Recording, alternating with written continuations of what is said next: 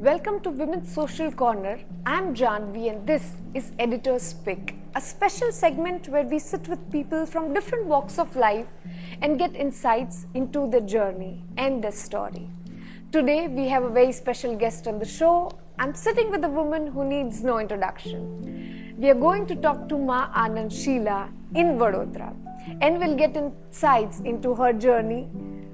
Obviously, we are going to talk about Osho, Bhagwan, and we are going to talk about what brings her joy and peace right now. So let's get to the conversation. Sheela ji, welcome to Women's Social Corner. It is a pleasure to sit with you today. And to start with, I'm curious to know that we are in Vadodara, a city where you started your journey. And then, you know, Oregon happened and commune happened. Tell me about that transition. When did you become that person, you know, who was very courageous and who could lead a team?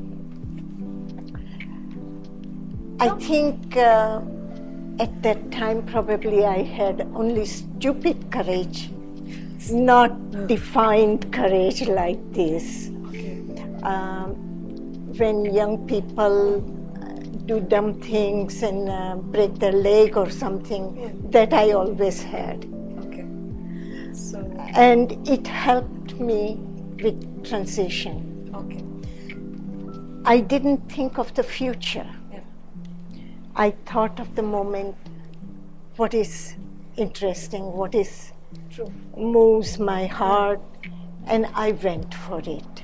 And my father and mother were big uh, motivator to us children. I was youngest of six children, born in Baroda Yeah. and lived in Baroda till I was 16. Okay. Then my father sent me to US to study. After that, Yeah. I come to visit my parents after five years, and uh, my father takes me to Bhagwan again. And then we know the story, yeah. But were you always so outspoken about like what you felt and what you want to do and Uh, not just I was outspoken, we all six siblings are outspoken. okay, so that's a Gujarati. Yeah, uh, th- it is Gujarati, but it is also training of parents. Okay. Father believed in freedom. He did not believe in the traditional social values. Okay. He, for example, we were earlier talking about marriage. Hmm. Some of my relatives would trouble my mother that your girls are all grown up. When are you going to look for a husband? Yeah. My mother would say, Go speak to my husband, Oh.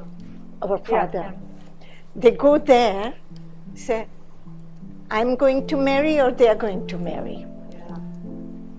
If they're going to marry, they should choose Choose. what is suitable for them, true. what they want, Yeah. not me. No. That's how. That is how much freedom they had given us. True. He used to always say, I have not four daughters, I have six children. Very interesting. Neutral way to look at it. Yeah, it wasn't that my two sons and four daughters, no, I have six children. Interesting. So it shows you the attitude. There already he started correct values and definitions of the words. True. And the parenting style really mattered. Right. But when you when you're talking about your journey, you say that it was bad courage. In the sense, um, like, is there anything that you would want to change when you look at your journey right now, retrospectively? I never said it was a bad courage. I simply said stupid courage. Yeah. Bad and stupid are two different things. And no, I would not change it. Anything. Yeah, because that was the training. That those were the first steps of courage. True. You cannot Yeah. define courage from the start because you don't know. You have to make Yeah. mistakes. True, true. I would not change it. Anything about your journey in the sense you're like, yeah, Not a single thing. true. And when we talk about your and Bhagwan's relationship and whatever Bhagwan said about you, but you always uh, spoken very nicely of him, and there's only love that you speak about. Tell me, is there anything called unconditional love? Because the youngsters wouldn't know what that is. Well, I don't have any definition Yeah. of unconditional love. What I felt in my heart was without limits. There were no limits. I was simply in love with this man. I look at him and I melt like a puddle of water. True. And how do you sustain that love for so long? In the sense, like today, when we don't have him physically around, you still speak so fondly as if you still, you know, that love is sustained. How does that work? It is not my quality, it is the quality of the love. Okay. When you love, there's no question of sustaining. It is simply there. It's simply there. Yeah. So it talks about the quality of the love. And the quality of the love that I felt shines in all my work Was because I worked from my heart. Yeah. But was there a moment where you had to like forgive him for whatever he said, or no, that was out of question? Forgive him? He never. He, I have never used words like forgive. Okay. Okay. These are Christian words, I don't use them. It's not my vocabulary. Christianity teaches us. To feel guilty and forgive. Yeah. And we're free of the, those words. Bhagwan has cured me. Wow, loved it. And um, when we talk about love and relationship, tell me that uh, today we see um, like people having multiple relationships. What are your thoughts on this, like adultery and such? Word adultery doesn't exist. Multiple relations are healthy. Take care of the sexual context. That part is, uh, you have to be really Yeah. clear about it. Take care of your body. yeah. It's a precious apparat. True. Yeah. And don't let it damage. Okay. But don't make it a moral issue. Okay. The moment you make it a moral issue, you will fall into the trap of guilt and forgiveness, Yeah. and with it comes depression. Okay. You fall into the trap. Yeah. That is an absolute trap. So don't fall for that. If you want to be happy in a relationship, don't expect. And don't lose your freedom. Your freedom will set the quality of your Of your relationship. As far as this is taken care of, everything else is fine. Yeah. And, and what about marriage? Because you also have very interesting views on that. Marriage, it is a convenience of the social need. yeah. And life should not be always convenient. Yeah. We don't like to come out of our comfort zone. We tolerate. We tolerate nonsense in relationships. We tolerate brutality. Not acceptable Okay. under any circumstances. Not acceptable. Your freedom is very valuable. That freedom should not be affected in any form, any shape. Yeah. It is not a bargaining point. True. It is your human right. You were born with your right. That's how come you came out of Gebärmutter. That's how come you came out of the womb. True. You wanted your freedom. Yeah. But then what about the idea of commitment that I am committed to this person, so I will not, you know, cross that line? If you commit, Ah, you will also break the commitment. That is also a trap, we are all in our head. right? If you love, no question of commitment. And love is not sex. Two separate issues, two separate things. Things true. In one of your interviews with Barkha Dutt, you had a very interesting take on spirituality, where you said that you can call me a criminal but not a spiritual person. And I would want you to elaborate it because that's a very interesting statement. What is spirituality? To What is spirituality? I ask you. Everybody talks about spirituality. Any yoga teacher doing yoga exercise calls themselves very spiritual. yeah. You go to the uh, sports studio and you do your sport. It's the same thing. You Yeah. call it yoga or sport. Yeah.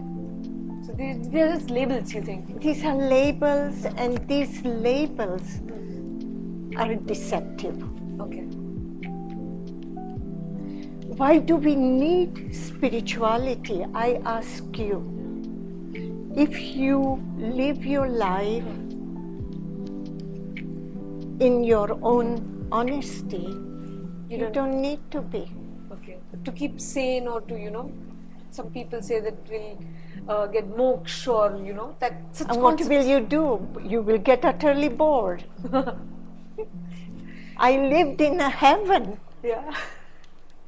Luckily, I had a lot of work, so I wasn't bored. True. But the meditators sometimes were bored. Yeah. Interesting. Because you you sit so close to Bhagwan and you're not talking about words like meditation. You're not interested in enlightenment. And that's very interesting because most people would assume that these are the things what people do in an ashram or in a commune. Like yeah. because I was living a real life there. yeah. I didn't need any cigarettes in between. Yeah. It was And all and- these words are like cigarettes, gifted, poisonous. Okay. Then that's how you entertain and dilute your mind. True. I don't believe in dilute. You Delu- illusion, delusion, yeah. call a spade a spade. That honesty also I have learned from my parents and Bhagwan. Okay. But today in India, there's so many spiritual gurus uh, upcoming, you know, trying to uh, get into that space.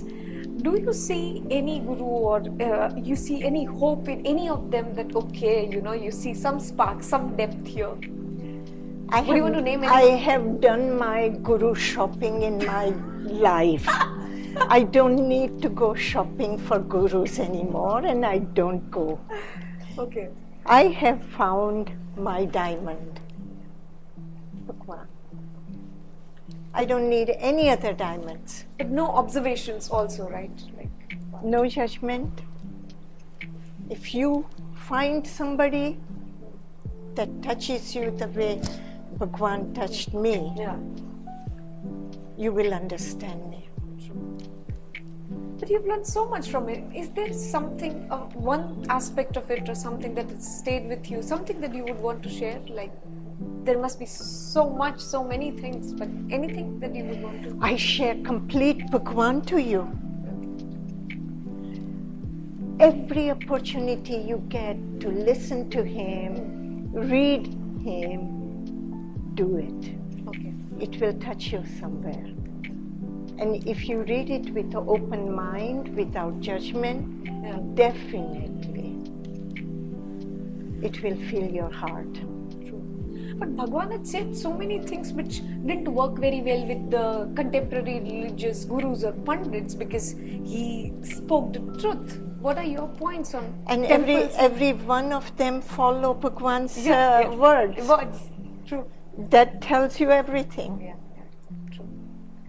Yeah, yeah, true. They cannot sell their um, their philosophy. They cannot sell their product. Yeah. So they ch- steal it from Bhagwan and sell it. Yeah. Pa- package it a little different and sell it.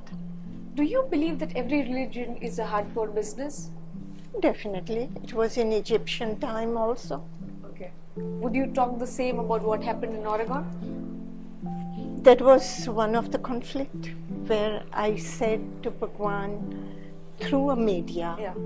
because I was no longer in Rajneeshpuram, Uh, I said,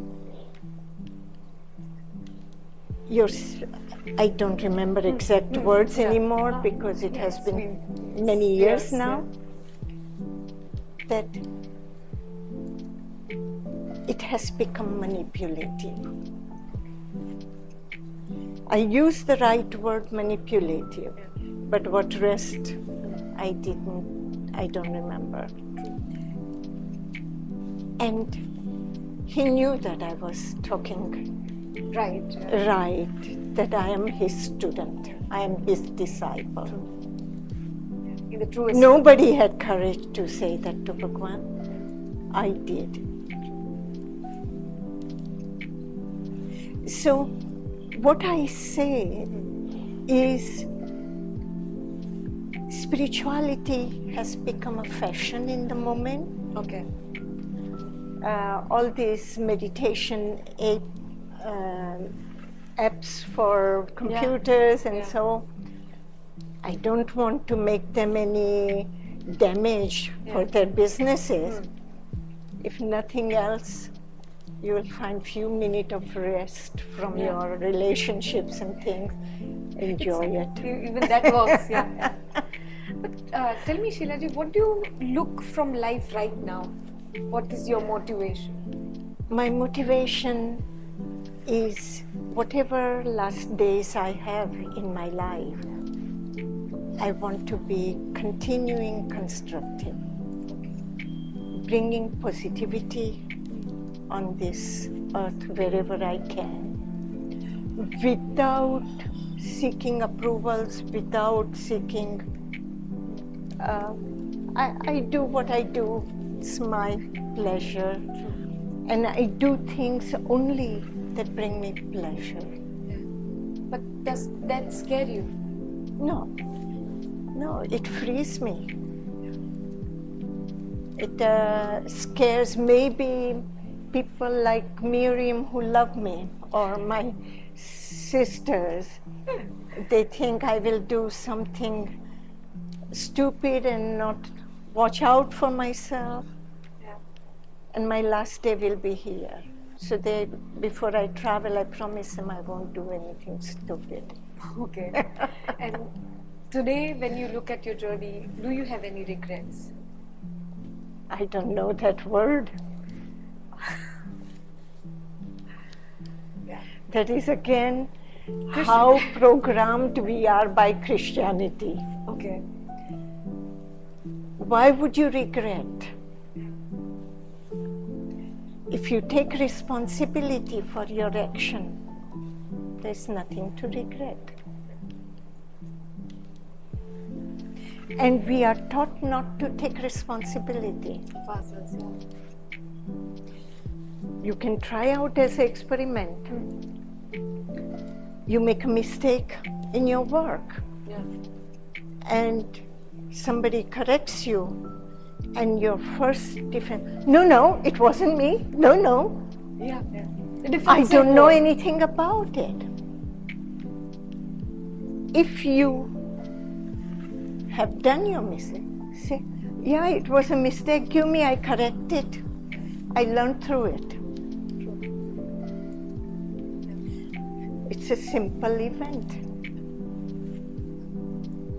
You don't have to go and insist that no, I haven't done the mistake. If I have done mistake, I have reflected Yeah. on it, And you. and I know where. I have done mistake. Yeah. So no regrets. No regrets. Lastly, tell us uh, the secret of this inner strength, apart from your love for Bhagwan and what you learned from him. Where does this inner strength come from? Like, is it just being on your own? Love for my parents, love for my siblings, and love for Bhagwan. I call my life as a triangle hmm. Bhagwan, Father, Mother. And it completes the circle of my life. I hope we all have an interesting story like you did. And I, and everybody has it. Just learn to look at it right. Yeah. And um, I, in the beginning, I, off the camera, I was asking you that what is your motivation, you know, to talk to media and now after so many years, share your side of the journey. If you would want to answer that. Very good question. I write about this in my last book, Last By My Own Rules, Yeah. P- Penguin Books publication of uh, 2021. My father, in 1995 or the 1996, one day says to me, Sheely, you cannot remain quiet. You must speak. You have experience of life one in a million. And you can inspire the young generation. You must speak every time somebody comes to speak. That's when I wrote my book, Don't Kill Him. And I dedicate it also to my father, mother. True. So it was my father, Father who who insisted I must speak. And I don't go out looking for journalists, hmm. they come and connect Yeah. with me like you have. True. It is the same story with Yeah. others. Even Wild Wild Country, these two Hollywood directors contacted me and filmed me for five days. Oh God. Okay, so and they did their story. I have not seen it, Okay. but I have heard from Yeah. many uh, people on Instagram how they have been affected. So my father is right Yeah. that people will be inspired. True. Totally. Totally. I hope you share more of your journey and insights from the valuable journey that you had. And thank you so much for your time. For more such interviews, keep watching Women's Social Corner.